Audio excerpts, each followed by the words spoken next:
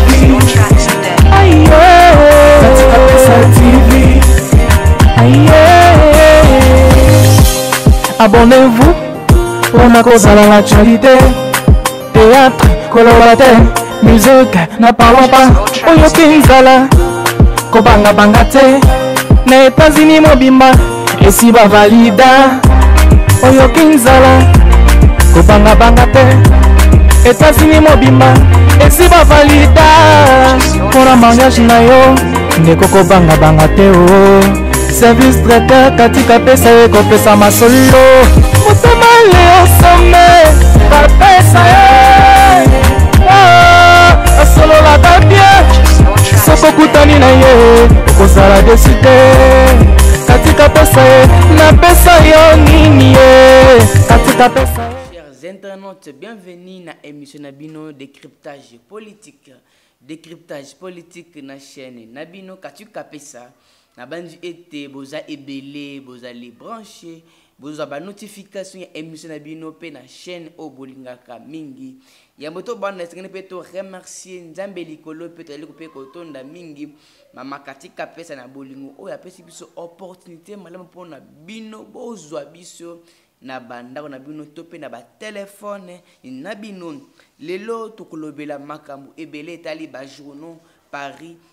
mokolo ya lelo na capitale kinshasa lelo tolobela mingimingi uh, eh, tobanda na eloko ya yambo la déchéance de zoe kabila Hmm, lelo nde momesano naza na invité te esengeli mpe biso mpe tosala décryptage tosala toiletage ya mambi oyo matali politike ya congo tokɔta mpe na bozindo nde tolobaka mingimingi mpona tobimisa mpenza makambo oyo bapoliticien r moko bazali kobomba na oyo etali déchéance de zoe kabila na média 7 sur 7 cd Euh, Geneviève Inagosi alobi boye dans un état qui se dit des droits des choses comme ça ne peuvent pas être tolérées mama Geneviève Inagosi mboka oyo ezalaki lokola nde tozalaki na jungle hmm? Mwa moke moke tozali komeka kobimisa mwa motu na mai na oyo etali demokrasi. Na epoke na bino, euh, demokrasi ezalaki te. Soki tokei eh, na Kasai oriental taple esika ba, balongoli Maweja, ancien gouverneur ya Kasai oriental, nayoki bato bolobi, bato balobi te hein? Eh, mama Geneviève, ndenge olobi oyo nayokaki yo te. Olobi eloko moko te, mais awa okoti obandi ko condamne est ce que bino mpenza boyebi démocratie bino boyebi démocratie te hmm. oyo etali déchéance ya zoe kabila oui na oyo esengeli mpe aya mpe kosexplike bakotile ye bakotilaki ye pétition esengeli aya kosesifie ayaki te mama geneviève Hmm, tozala bato tozala na penchant te oui kolongola bagouverneur yango nde solution te mais heure moko tosinclinaka na oyo etali démocratie soki démocratie eimpose eloko moko esengeli tosengeli tofukama eza te euh, po balongoli zoe kabila ekomi problème eh, bagouverneur balongoli ebele ebele na, na congo awa rdc eske ezali ka zoe kabila hmm? soki toke mpe na espace, eh, na, na espace grand kasai hmm? toke na kasai, eh, kasai central hmm? na kananga balongolaki eske ezalaki problème hmm. likambo eza te ke mpo na zoe kabila eske zoe kabila nde moto azalaki na agenda ya kashe mpo na bino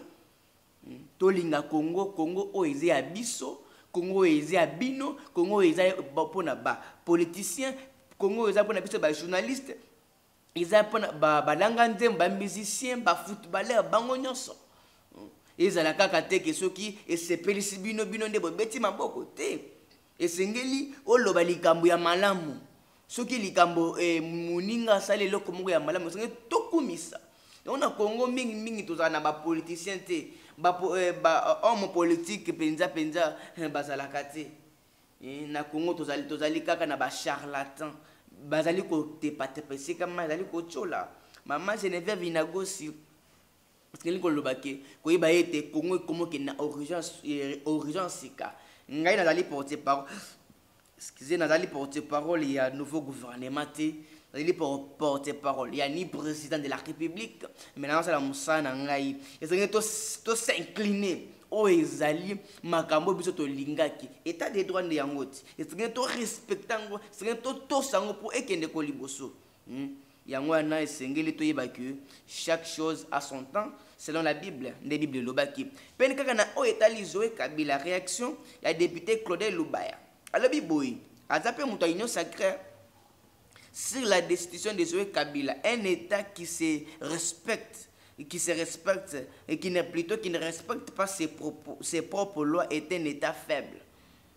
Hmm? Oui.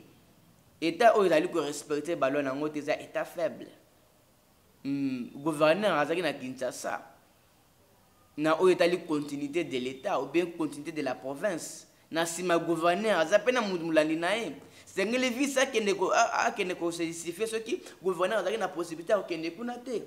Claudel, yo pe ozalaki gouverneur na Kasai occidental. Hmm. Nini oyo etikeli Kasai? kasa eza ya nini kasa eza ya nini proposition nini izini nini eloko nini ya malonga siti katende yango wana ezali ya kokangama ezali kosala eloko moko te ndeko claudel hmm. bato bazali kolela ntango balongolaki gouverneur na, na kasai uh, central e, province na yo nayebi te soki olobaki toke na kasai kasai voisin oyo kasai oriental ndenge moko touti mpe na kasai na tikapa kuna kaka ndenge moko makambo ozali kotambola bien te esengeli tolobela yango yo olobeli ata eloko moko te badesutue ba, ba gouverneur yo osekrie oui okokrie na yo okoloba mais la démocratie eprimaka kaka toza na etat démocratique toza na toza na etat moko oubien toza na jungle te moto alamuki kaka boye mpo otangaka constitution mpo otangaka boye otangaka bolamuki oyo ntongo ntongo boye oyo alobi alobi boye alobi eza mabe te hmm. bien sûr nde olobi hmm. gouverneur zoe kabila ayaki na bamoyen ya défense te yango epekisaki ye te akende na bamoyen ya défense na ye ana vice gouverneur ana molandi na ye seke to respectaka l'état de droit ne dit pas que tosala de n'importe quoi l'état de droit elobi te ke tobanda to kocrie l'état de droit soki babengi yo hein? bango nde batyaki ye le gouverneur zoe kabila c'est un élu des élus c'est-à-dire biso tovote badepute provinciaux badepute provinciaux bavote gouverneur seke aza oblige kotosa bango aza oblige kotosa bango claudel lubaya nasepeli euh, na bapropos na yo mpenza mpenza te mai toza na état démocratique esengeli totya le point sur les i toyeba qui fait quoi et comment et pourquoi eza te ke tolamuki kuna na ntongo kambala moko obandaki kokrie oui boza baye leader d'opinion boyeba nde noki kolobela oki kolobela hmm, gouverneur gouverneur ya, ya tanganyika kwei ah. eh, esengeli ase, ase, ase, ase, afukama ayebaki etat de droit nde yango wana ti oyo biso nyonso tobandi kolela esengeli totosa totosa mambi nyonso ozali kolobama mambi ozali kosala oyi oui.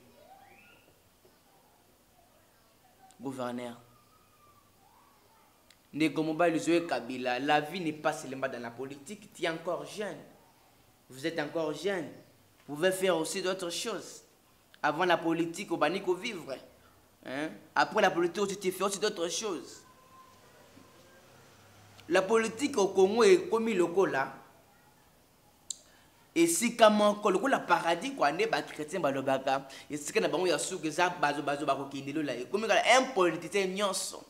motu nyonso lokola ngai mpe journaliste awa reve na ngai ezali mpe nakoma politicien oh mais nani moto akozala journaliste omoni mpe pasteur mpe lobilobi mpe alingi mpe akoma akoma politicien oh mena na banda wa banda oteyebisa na baeglise omoni mpe mwalim atiki kobeta motu na se te ake mbala moko akoma mpe politicien oh mena na motu mosusu mwana na motu akobanda kopreside makambo na kati ya moske hmm. Toyeba oyebi ke na politique eh, ezalaka na periode meme na football eza mpe na batemp fort omoni ata ekipe eza makasi de nini ata, ata barça azobeta contre, eh, contre club moko ya se eza mpe barça domine domine mpe club yango mpe ekoya mpe na mwa temps fort esa ata ata deux trois actions ekotya mpe bi se ya politique bino bomoni kaka te eza mpe royaume te o moto onganzami kaka yo non soki ntano eleki eleki totika mpe bamosusu mpe bagere totika mpe bamosusu mpe bale topesa bamosusu mpe chance kongo oza mpo na biso nyonso kongo oza mpo na eh, eteni ya bato te omona kongo nde ezali toza na bato classe moyenne ya kongo eza te hmm? classe, classe moyenne eza te omoni kaka ba première classe bamillion bamilliard hmm? bato bazali kofu ba, ba, bato bazali kofuta makutu moko koleka na bainstitution ya leta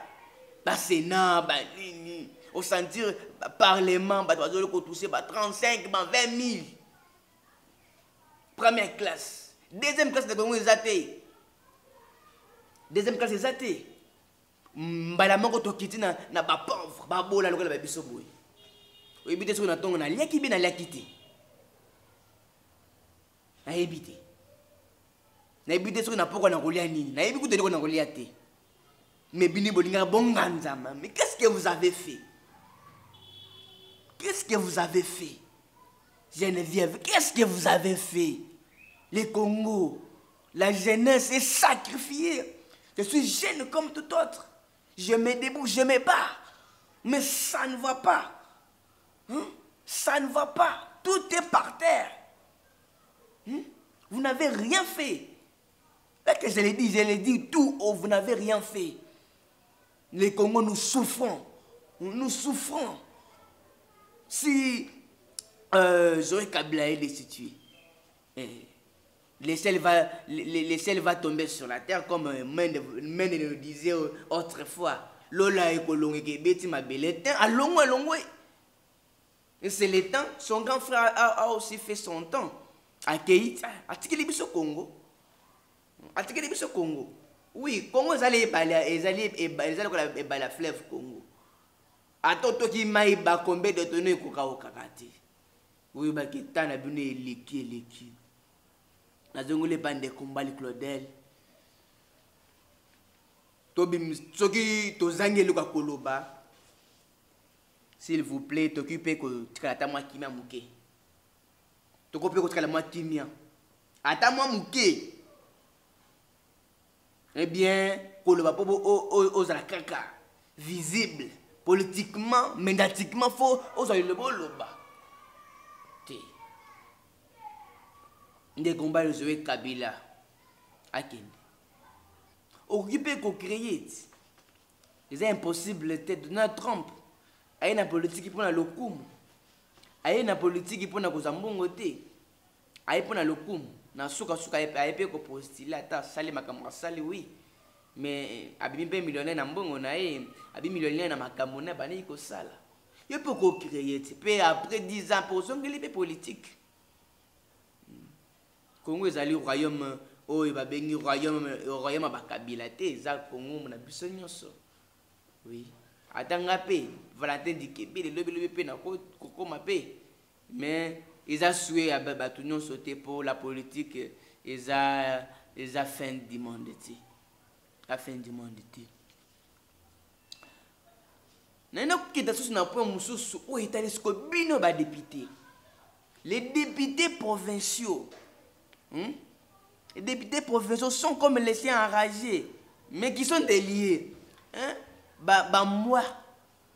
ya rage fongoli bango kaka singa boye baloka mwa baloka moto akoswa bino mpe bapétition hmm, eza bapétition ventrop psychique ventrop psychique bien ezali kaka pétition kaka mpo na pétition obie mpe bino mpe moyen mpe balo bolongwa te eza kaka ah, pétition pétition ya nzala te na ba ensemble provinciale nyonso eza kaka koningana qui, qui vous dit que bato nyonso bazosalaka mabe qui vous dit que bato nyonso bayeka mpona koyiba badepute provinciaux sikoyo badepute ya ituri na nord kivu bosala susu pétition totala ti bosala pétition C'est quoi ça vous, pouvez, vous, vous, vous, ne pouvez pas créer des bonnes lois qui peuvent aider la, la République ou bien la jeunesse. Bino ballon na bino ezalaka pétition. Pétition, pétition. Tokola pétition. Tokotia pétition na nzungu tolambi yango tobeta yango vuvu. Non c'est quoi ça esengeli badepute provinciaux biso bino boza wana bozala tana bolakisa ata preuve ya maturité excusez moi bolakisa ata preuve ya maturité boza kaka moke moto aningana kaka boye pétition moto asalaka boye pa mention oh c'est quoi ça hein? nana toyoki ata na bamedia te o oh, depute provincial moko asali boye depute provincial moko asali boye toyebi kaka o oh, boye makelele kaka na baassemble ka ah toyaki kotika bino les gouverneurs ne peuvent pas rien faire mais ne peuvent pas euh, faire autrement oui bino bato bovotaki bango me bazala bamingama na bino mpe te ofandi mpe boyoki nzala olingi olia mwa fufu na yo oyoki epa gouverneur akalele yo boye alei zela pétition na yo on oh, c'est quoi ça union sacré mpe eza règlement de compte te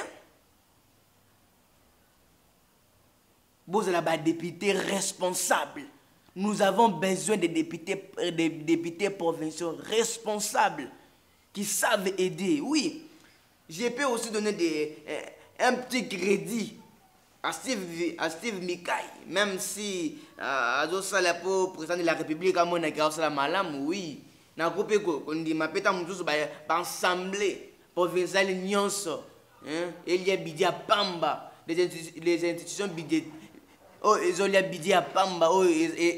esata e, e, e, eloko ya malonga te wi nakoloba ata eloko ya malonga mpo toza eloko te kaka bapétition depuis bosali bapétition botongi combien d'immeuble combien d'usine baprovince na biso ezali kolela kaka na kolela c'est quoi ça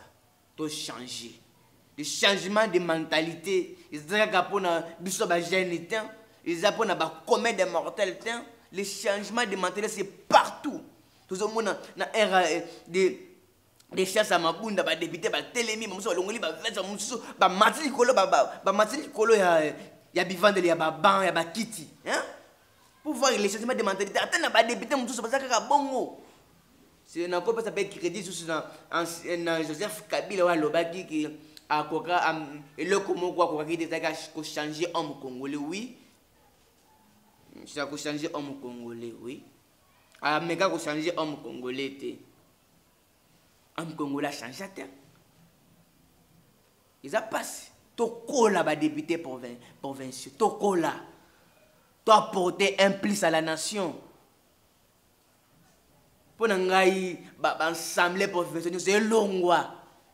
totikala ta pamba tokata gouverneur ye moko gouverneur ye moko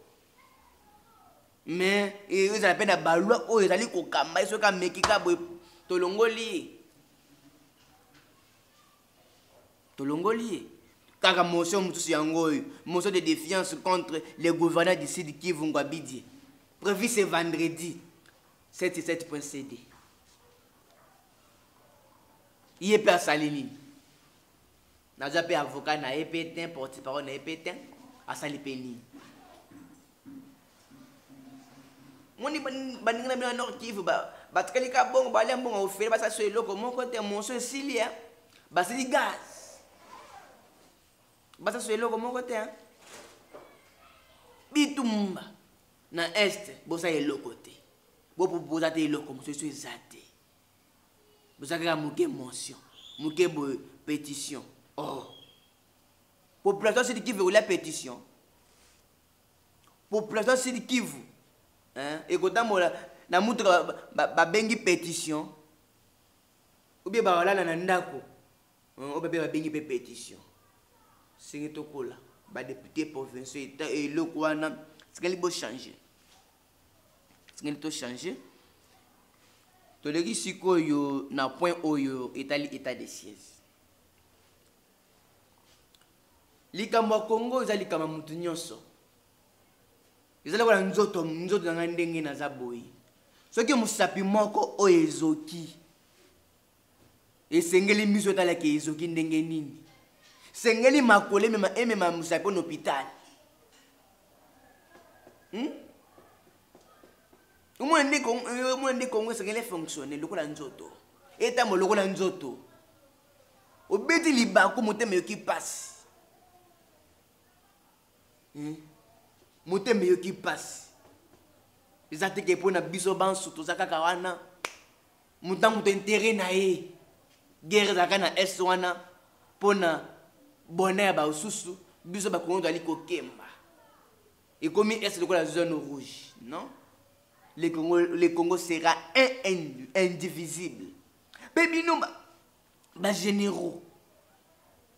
ba bino bakonzi ya armée armée congolaise soki guerre ya est ezali koumela kino eza mpo na bino mpe eza mpe mpo na bino congo quantième armée na afrique parmi 10 bien 9e armée na afrique toza mpe pete te me tozali kolela kaka tozali kolela tozali kolela kino mokolo nini oui ndenge chef de l'état apesaki biso bajournaliste alobi bahomme de média bo encourage oui nazali koyebisa journaliste nyonso to encourage to encourage bainstitution ya sika oyo ezali na nord kivu na ituri to encourage topesa bango makasi bakende obe liboso mpo na likambo na biso ya congo eza likambo ya biso nyonso atako naza, naza, naza, naza quatrième pouvoir atako naza na, na, na makasi ya kogere te mais à travers mon message d'encouragement ce message aussi pourra aussi permettre hein, donner aussi de la force oui de la force aux hommes armés aux hommes en uniforme pour lutter pour les congo on va aussi dans les foot les, les, supporters ne, ne jouent pas mais on appelle les supporters les, la les, douzièmes hommes, la deuxième personne, les douzièmes joueurs. Oui, c'est pour encourager. C'est pour encourager. Notre, notre, notre charge maintenant est, d'encourager les hommes, les, hommes en uniforme, nos voyants guerriers, les phares d'essai, même les militaires qui émanent de l'extérieur. Nous sommes obligés de les appuyer et la population des, Nord Kivu et de l'Itourio, vous êtes obligés de, soutenir l'armée congolaise, de soutenir la vision. Cette vision, oui, c'est une vision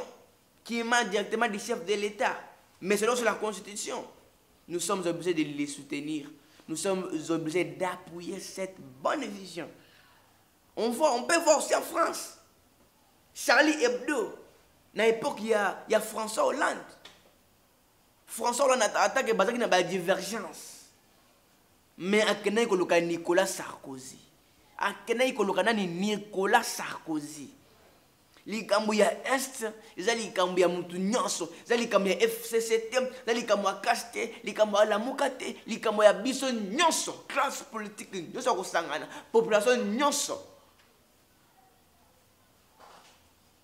nasepeli mingi na lalutia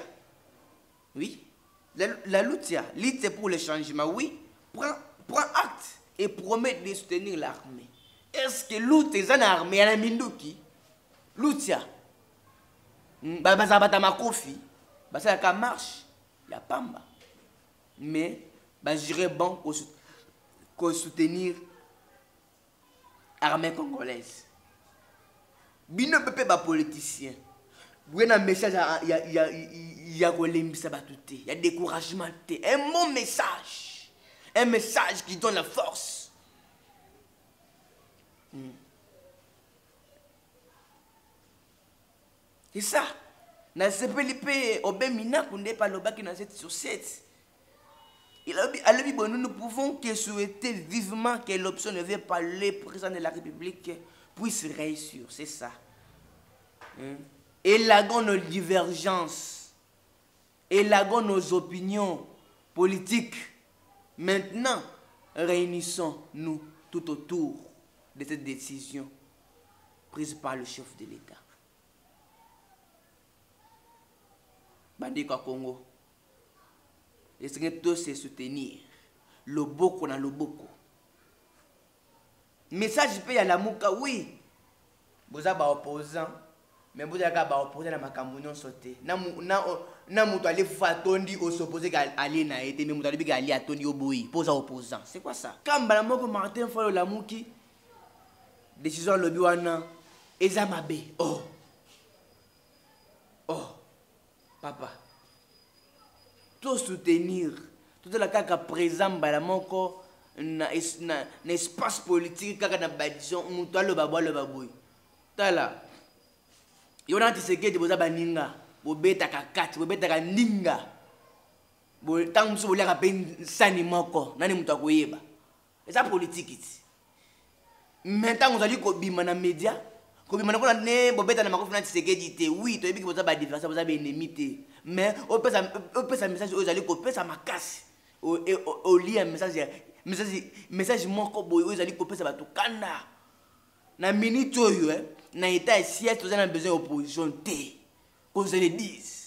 toza na besoin ya opposition te toza besoin ya encouragement eza lokola ntango rdc azali kobeta hmm, notre équipe nationale abeta libanda biso nyonso nsima léopard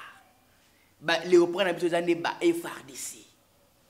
eza mpe armée extérieure ezali koya mpona kosoutenir biso martin fayo nasepeli na décision wana te na sepe na maloba na maloba wana te soki prochainement okoki kochange oui c'est pour l'intérêt de tout un chacun intérêt national mpo etali intérêt national ata oza nani ata navotaki yo ata navotaki yo te ata nasalaki nakosoutenir yo te na oyo otali unité ah ata olobi oza tata na ngai nakosopose na yo mpo na congo c'est ça le congo c'est ma patrie na kozala alaise wapi soki kongo te bandeko na biso baza na paris bana bruxelles baza na londres bana washington las vegas wapi new york boza kuna bovandi bien ntango mosusu bokimi nzala awa bokimi eh, mauvaise gouvernance me bozalaki kimia lokola na congo te ata bokei wapi bozalaka bacongolais yango patrie mboka oyo tokozala biso banso bacongolais kimi ezaleli kaka awa nasepelaki mpe na message oyo tisekedi alobaki ata ochange nationalité ezali papier ozali congolais ata kipembe yo ozali kobeta na paris saint germain tu es un congolais ata kipembe yo ozali kobeta hmm? yo ozali kobeta na, na équipe ya france tu es un congolais boza bacongolais claude makelele ata ozali nani wa congolais lukaku congolais omona nde ya français ya pembe et plutôt français ya mwindo vous êtes des congolais ça dit que mboka eza mboka na biso nyonso soki to soutenir soki oye na message ya mabe tokosopose na yo état de siège tolobela kaka yango la police disperse une manifestation contre l'état de siège près de goma hein? olamoki ko na ntongo naki kosopose contre état de siège nayoki mpe la police anayoki mpenza kanda la police hmm? bokende kodisperse bato wana olie bokanga bango botia bango nkumba baza bato okokanga otie bango na prison kangi bango noki basusu mosusu baza bamai mai bodisperse bango bosali eloko te nzela kolala polisi ya kongo awa soki mwasi na mobali ya kina mwasi na mobali ya babunda mbala moko boza wana kulukulu na bazali kopapama machete ah! oponioki oke mbangu oboyi kokende moyana monduki mpe moninga mpe eza mpona koboma bato te se fo okanga bango ntango bato bazali koteka na nzela ale namoni la polise elobi wana kobeta bato na ese esenge bokanga bato wana botisa bango kumba bokende kopanza bango wana baza bato ya kopanza ah. na regrete makasi na yo mpe otelemi mpe onganaki kosopose na etat de siège yo oza nani kongongo ya bino hmm? kongongo soza ya biso nyonso te biso nyonso nsima ya chef de l'état na, na décision alobi oyo azwi oyo ata oza opposant oyeba que congo eza ya biso moko eza ya tshisekedi eza ya fayulu eza ya katumbi congo eza ya bemba congo eza mpo na biso nyonso decision oyo azwi ya malamu tobeteli ye maboko decision oyo azwi ya mabe tosopose c'est ça c'est ça la, la, la, la, la bonne opposition à faire c'est ça la meilleure position à faire le congo est pour nous tous kaka na likambo etali insécurité totiki nano état de siège moke na radio kapi alobi oyo etali ya internet mpo na miniti oyo eza internet bamédia en ligne antoine gabriel kiungwa kumwanza akise les anciens dirigeants de ce pays, originaires du Katanga, d'être derrière la milice Bakatakatanga qui fait régulièrement les incursions dans la ville qu'ils préfèrent. la ville de Lubumbashi. C'est difficile, hein? Hmm. C'est difficile à broyer et à avaler. Difficile à broyer et à avaler. Je ne suis pas content. Oui, tu m'as raison. King a raison. Même Mbosso l'avait aussi dit. Les députés, les hommes d'affaires quitter les groupes armés bino mpe bahomme politique originaire ya katanga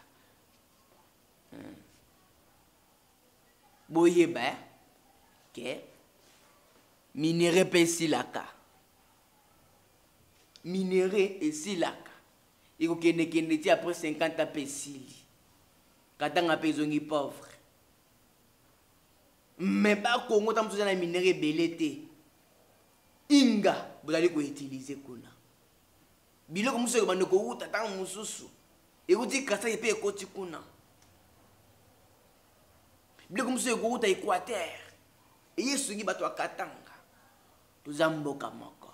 yango ngai politike ya mobutu na bande kolinga yango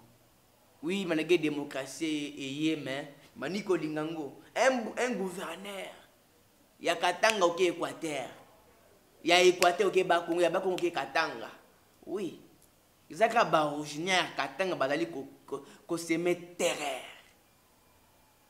koseme terreur c'est la ville qui préfère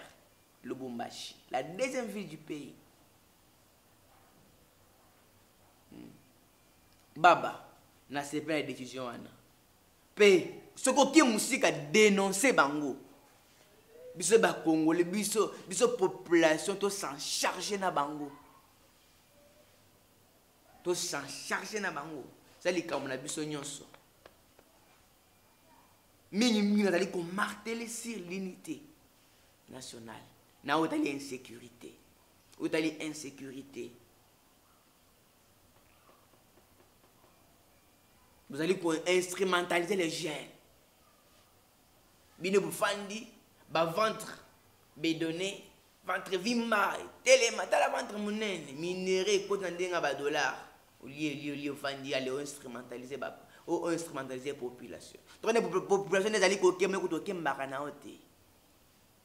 okembaka te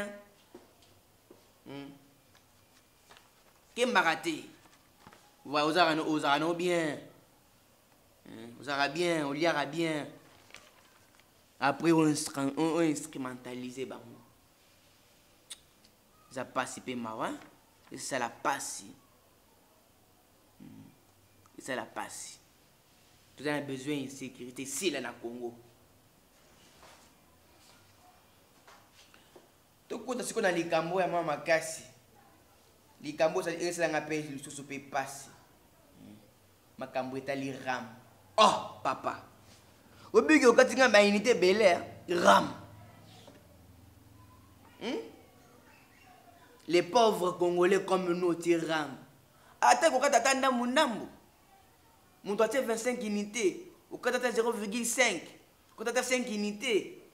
eh, moto mpe akobenga okata ata ndambo ndambo moto mosusu atiaka mpe unité te atiaka unité rarement akota ata unité une fois par semaine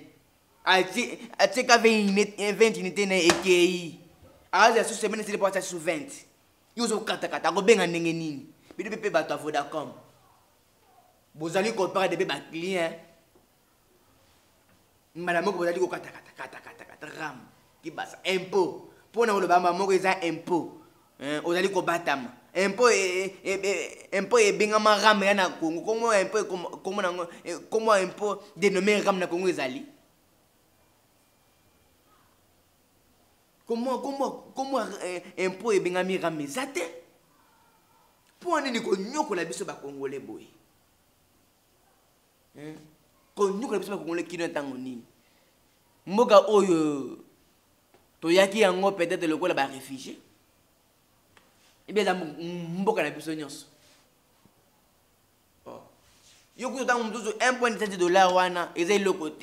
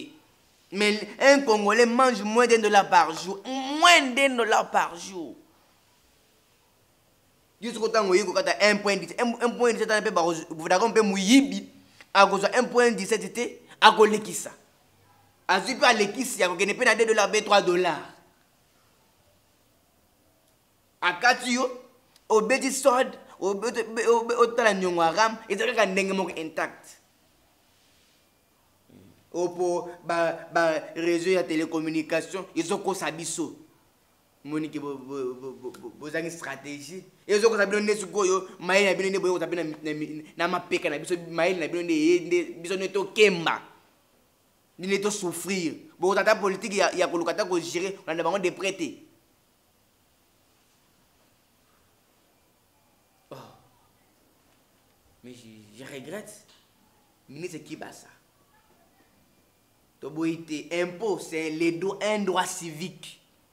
tant qu'un congolais tant qu'un journaliste je ne suis pas un commun de mortel mais koyeba ndenge nini kozwa impôt wana eza mbongo moko bakokata okosentir te ke bazokata mbongo mais ozokata okokata motu mbongo motu azali konyonga yo koyoka mpasi na motema yo ta motu oza na wifi na ndako na yo obenga ata mosusu crédit kaka na compte ya ministère ya petentique oui kasi biso ozali kolia na mbongo na toloba ata na frais généraux pauvre ozali kokotela yo mbala moko inite kutu koloba te kasi biso maye na yo nde konyonga biso population tambola tata tambola tati se déguisa tata mwana ne population ezali kokemba eza bien te chef de l'état nayokaki kokendaki mpo na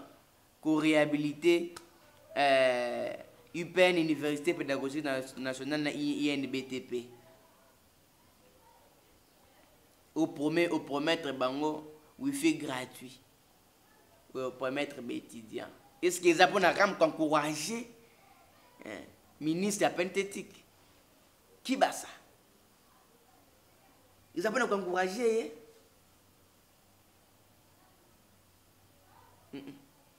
papa oza mpona biso nyonso lakisa bango nayebi te soki kibasa ozala na baconseille te obie ndenge nini to na baconseille baconseille mosala bino mpona kaka koliaka mbongo na mbongo ya gouvernement be conseil ezaka conseil mpona yo na libota na yo mpona intere na bino biso nde tozaka ba biloko wifi gratuit na université ya kinshasa biso nyonso totanga na université ya kinshasa te ezali mpe na bauniversité privé mpe bazali université mpe ya leta mosusu nani mpe wifi nani ekoti te me bozali kokata ram papa biso nyonso tokenda na gare centrale te bato nyonso bakenda na gare centrale te mpona baprofite na wifi ofele koyeba moyen kokata oza mayele mosusu moto atia ata 20 unité te ozwa ata ozwa ata 5 unité nde naotyaki koloba c'est ça c'est ça la meilleure chose la meilleure politique à faire bandeko Eh, ba chers internautes eh, oyeba tozalaki emporte na pasi ya congo toza emporte na makambo ezali koleka ezali koleka malamu te malamu ata moke te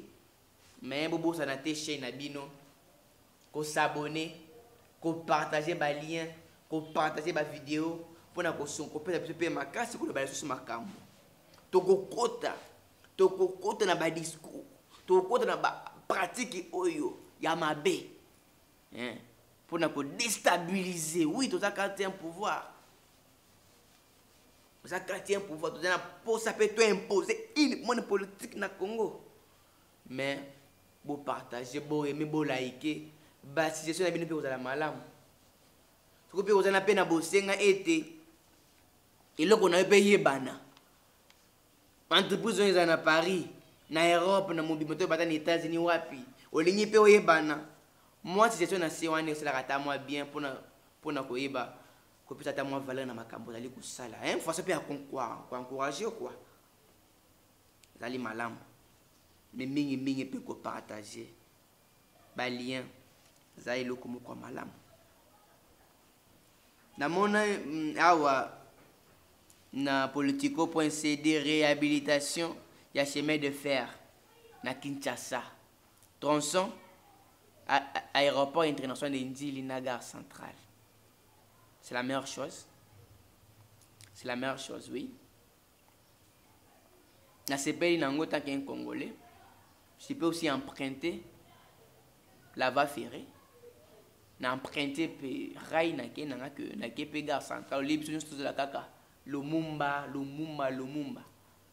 hein? soki biso toza na ntango toza mpe na possibilité mpe tobima mpe ville kuna sans problème mais boyeba mpe ke batrain wana ezali ya kopola ezali ya kala batrain archaïque ba train archaïque tobongisa kote wana hmm, na bwaki lo mpe mwa longonya kote wana mi ezala kaka te bamona bayo bafilme kaka mbamoko eke te efo mpe ekokisama nasepelaki mpe nde olobaki ke na guvernema ya tisekedi awa nateka wenze soki oteki wenze okende makala wi ndenge okiti wana esengeli mpe obongisa esengeli obongisa e mpe na oyo etali makambo ba chasse ya mai oyo mai ayo epai na biso tobengaka mai yango nayebi liso eza tautologie mai oyo babengaka eau pure ya bachasse papa oyebi combien de personnes bavivaka na makambo oyo na makambo oyo etali ba eau pure oyo ya bachasse combien de famille bavivaka na nsima e nzambe na ngai bozwa kaka décision moko hein, populaire bayeba ke moto tele azwi décision non oyeba baengin oyeba nini ezali na nsima nini eza na se eh. nalobi boye me retombe eza nini fami yango ekolya nini kini ozala propre eh. kini ezala propre kini kini kini eh, kini kini labele a ah, nzambe na ngai kini bopeto yango nde solution te mpo ngai soki nauti wenze nalebi soki na ngai esika kobwaka yango nakobwaka yango na balabala hein, lo bacongolais mais tellement lokola ngai nom sanctifie je ne peux pas faire ça Je n'encourage pas tout le monde à ouvrir bureau na balabala mais hein, un homme congolais hein, mentalité na ye eza eza kaka ndenge eza bongo. Aomela chasse, ame chasse na abwaki ne na balabala. Molangi ya mwa jus ba jus ezali koboma biso awa na omela mwa mposa la fière obwaki na balabala. Eza pasi. Esengeli koluka politique oluka ata politiki na mwene makambo oyo oh, oh, oh, ekomi bare recyclage banini biloko ya bongo oyo mpe ezali kotekama mai nayebi ke fulu na ngai oyo soki nabombi yango fulu oyo ekolukela ngai mbongo c'est ça la bonne politique okomona mpe fulu na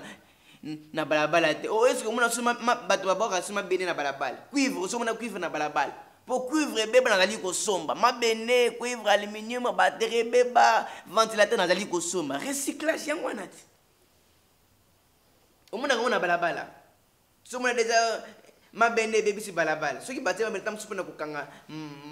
mai ya mbula mpe kokanga mpenza érosion mpe libulu esala na place wana te koluka la meilleure politique à faire la gestion gouverneur ya ville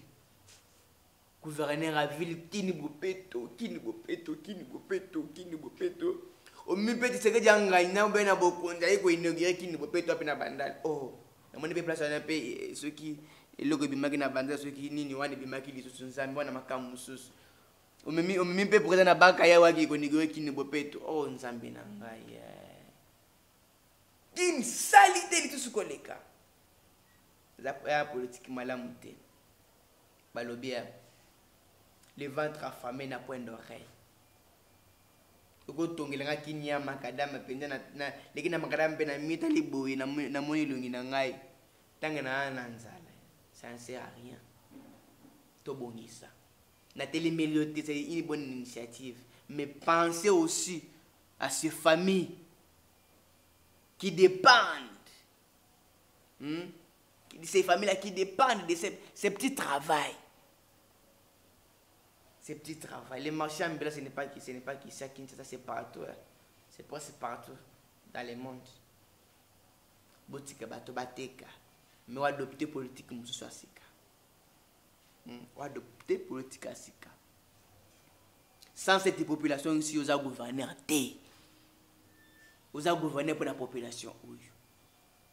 konyokola biso te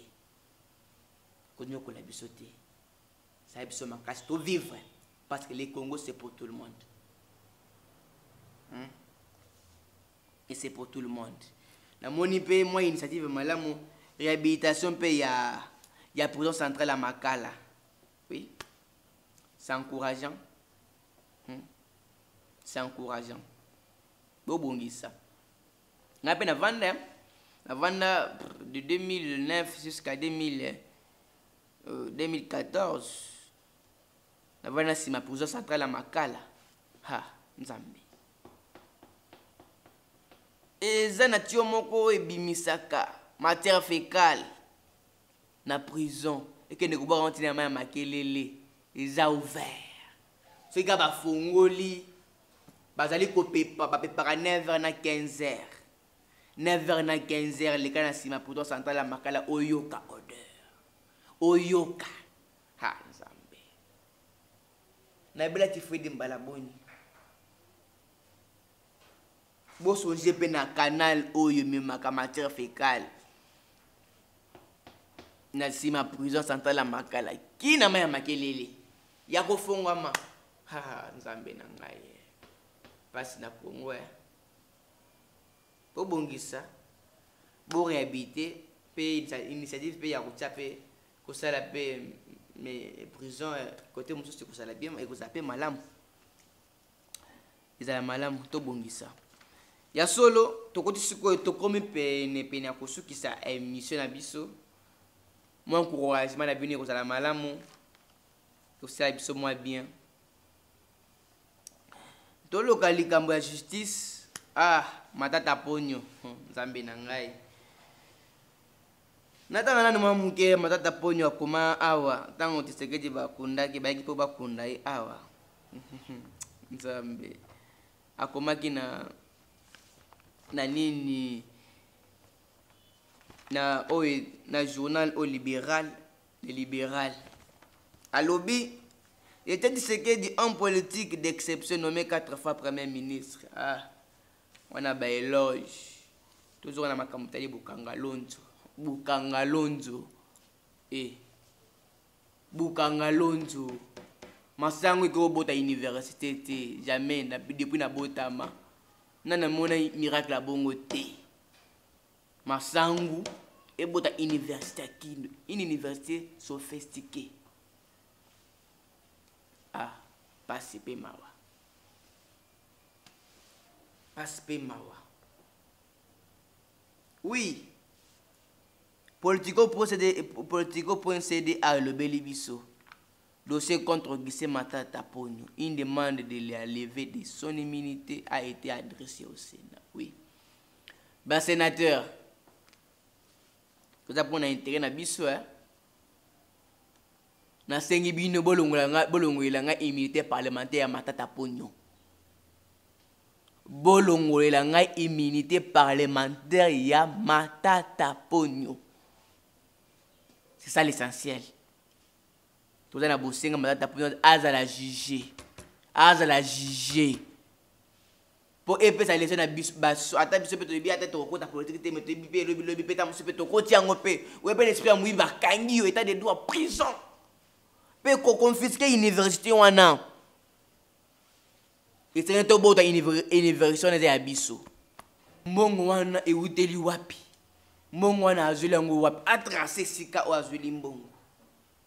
un politicien ako akotunga mbala moko immeuble te immeuble te université moko sophistiqué mbala moko mbala moko bongo eboti kola mayebo be mayebo chimique te tolandela toza na besoin matata mpona akangama ndenge ndeko na biso mosusu akangami awa na, na prison lisusu hein? ancien ministre ya epeste wili bakonga ancien mpe ministre ya sport eza mpe malamu mpe makambo oyo ya igf landela mpe badepute ba, ba provinciaux baministre provinciaux bagouverneur bolandela bango bokota ezala kaka ezala kaka na kinshasa awa te kota mpe na baprovince esoka na baseko mpe te kota kota na biso makasi kota kota kota zwelanga bango osikolela nga kongo moyibi esila hmm? mibi esila moyibi lokola makila lokola vaccin bacher internaute eh, tokomi mpenza na suka na émission na bino hmm. tosiliki te toza na kanda te mais toza na mpasi ya congo la passion pour le congo ndenge rais joseph kabila alobaki la passion pour le congo toza wana mpona kosoutenir motu nyonso oyo azosala malamu toyei mpe kotonda mingi topesi merci na mama kati kapesa mama boboto mama bolingo mama oza na service traiteur makambo nyonso complet olingi couverture ya mariage na yo olingi nini ceremonie hein? olingi euh, anniversaire mama kati kapesa azala disponible mpona kosoutenir yo mpe ndenge omoni nga boye nazali koloba ata na mwa mpasi eza mpona cameraman na ngai préféré kims moto asungi ngai mpo bongo na ngai mpe na réalisateur na ngai moïse mpe coordinatrice na biso mama irene layinge yoka bakomo layinge wana komo bachinois tokomi na suka émission na bino bopartage balien boyeme bola eke kopesa biso makasi koleka mpona ngai na bino relation na ngai na bino toyebi te kino yesu akoya botikala malamu na bandako na bino tokutani prochainement ciao motema malamu